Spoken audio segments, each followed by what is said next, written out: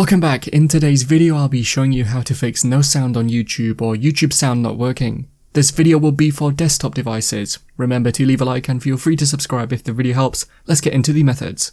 The best place to start is to quickly check the video player isn't muted. You might have done it by accident, but hover over the video and click on the sound icon and make sure the line isn't through it.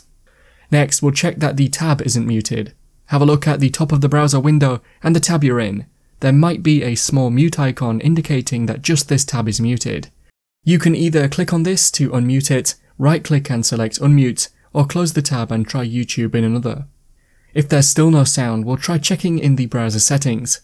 This method will vary slightly on each browser and I'll show you on Chrome. Click on the three dots icon in the top right and then choose settings. Now click on privacy and security from the left. In here, choose site settings and then scroll down and click on where it says Additional Content Settings. Now choose Sound and make sure Sites Can Play Sound is checked at the top, and then look for any muted sites, like YouTube.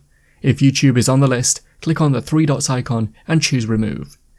If you still have no sound, I'd recommend trying a different browser, or if you think the sound problem is due to your headphones or speakers, then check the links in the description as I have separate videos that have plenty of methods to fix sound devices not working in Windows 10 Windows 11 or Mac.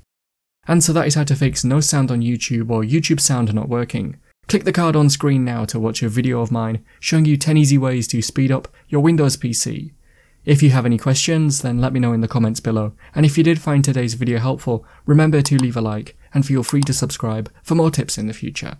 Be sure to stick around to see some of my other videos that you might be interested in. Thanks so much for watching, and I will see you in another video.